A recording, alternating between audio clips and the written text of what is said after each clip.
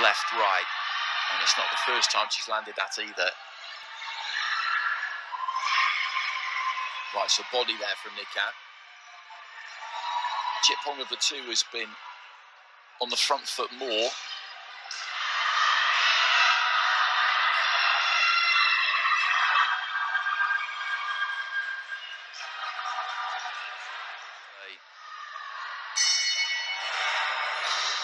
Generally tend to do. Themselves, Kazakhstan, Turkey, and Ukraine bringing the maximum number of, of 12 fighters.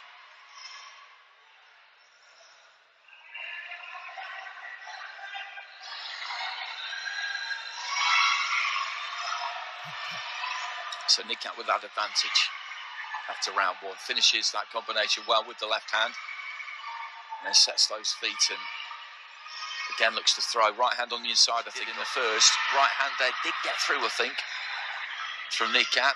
He's landed enough in this final round, in this final minute of the final round to see her over the line here, I would say, because with those three drawn cards, she needs just one of them. She's got two in her back pocket already.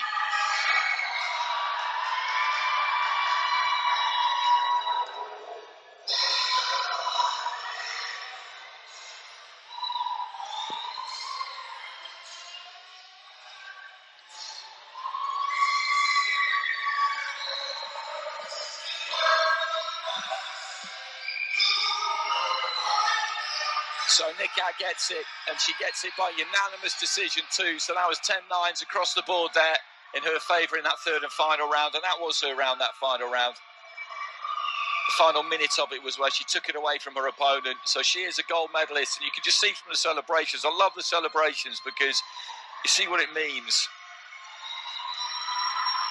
We had the Olympic Games last year, of course, but this is a, a new cycle. So fighters coming through haven't got that kind of experience necessarily. And we haven't had a Women's World Championship since 2019. It's been a long break. We all know what's happened in the meantime. And these fighters are just loving getting this stage and getting the opportunity to compete. And the tears are coming. Yes, inshallah, Paris. आज मैं world champion बन के यहाँ पे खड़ी हूँ और इनशाला एक दिन ओलंपिक चैंपियन बन के यहाँ पे खड़ी हो के मैं आज जैसे खड़ी हूँ उसके लिए तो मैं आप मेरी हमारी दुआएँ सबकी दुआएँ आपके साथ हैं। लेकिन वो रहा कितनी मुश्किल या कितनी आसान है? जी मुश्किल तो हर किसी की लाइफ में होती है। मतलब सक्सेस किसी को ऐसे आसानी से नहीं मिलता है। तो इतने after so much of hardships and struggles देखने के बाद आज मैं सीनियर लेवल पे वर्ल्ड चैम्पियन बनी तो मुझे बहुत खुशी हो रही है कि मैं अपने कंट्री के लिए गोल्ड मेडल जीता है मैंने। यही कोशिश रहेगी कि आगे भी और भी ज़्यादा मेहनत करना पड़ेगी क्योंकि एक रिस्पॉन्सिबिलिटी बढ़ गई है मेरे ऊपर।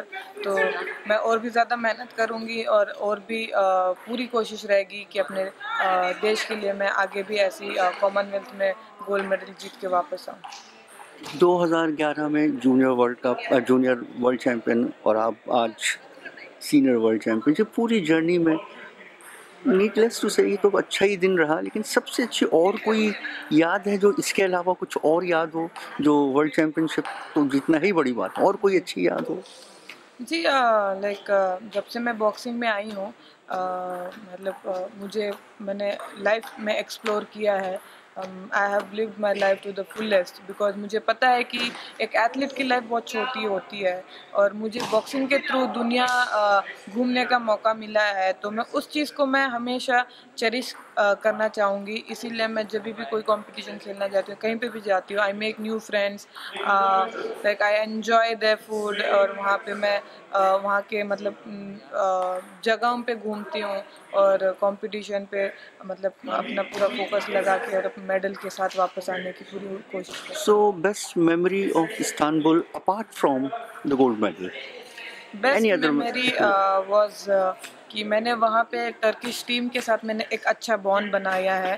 वहाँ के सारे कोचेस को मैंने मतलब अच्छे से मतलब मतलब दोस्ती की है मैंने और सारे कोचेस मुझे बहुत अच्छा मानते तो लास्ट डे जब मैं सबसे मिल के वापस आई थी तो एवरी वन वॉज़ मतलब फीलिंग सैड कि मतलब मैं जा रही हूँ करके। तो एक एक, एक मतलब मतलब I made that kind of bond with them तो अच्छा लगता है कि जब आप दूसरे कंट्री के लोगों से भी आप मतलब दोस्ती करके वापस आते हो और एक इम्पैक्ट छोड़ के आते हो तो या इस इस सारे में कहीं मेरी ने आपको कुछ कॉन्ग्रेचुलेशन वगैरह बोला कुछ? जी हाँ जब मैंने गोल्ड जीता था तो उन्होंने एक अच्छा, अच्छा। ट्वीट लिखा था तो उस पर मैंने रिप्लाई भी किया था।